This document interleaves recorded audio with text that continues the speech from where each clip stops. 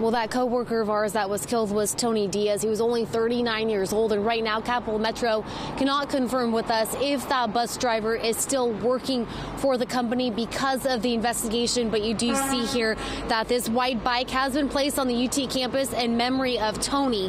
UT police did get a search warrant to look into this bus driver's home and cell phone, and according to that warrant, 40 year old Mindy Stafford was the woman behind the wheel that killed Tony Diaz on January 28th.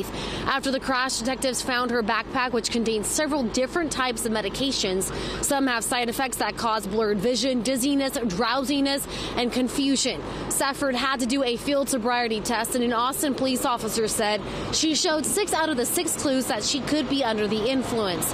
During the investigation, bus camera video showed the driver also used her cell phone often. Police say at one point she even asked to use someone's cell phone charger.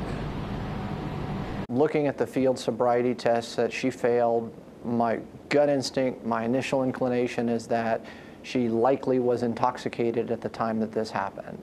And the intoxication would be a major reason as to why this incident happened. So the law holds Capital Metro to a higher standard to make sure that the people that rely on that transportation can get from point A to point B safely.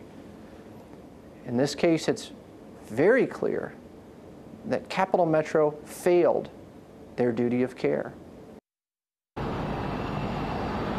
That attorney goes on to say that this incident should have never happened. As of now, no charges have been filed on the bus driver just yet. Back to you in the studio.